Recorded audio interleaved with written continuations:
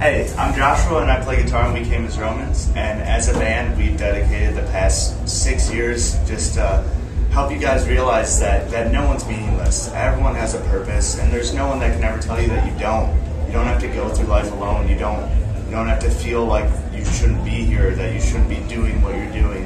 You don't have to feel any of those feelings. So just stay positive.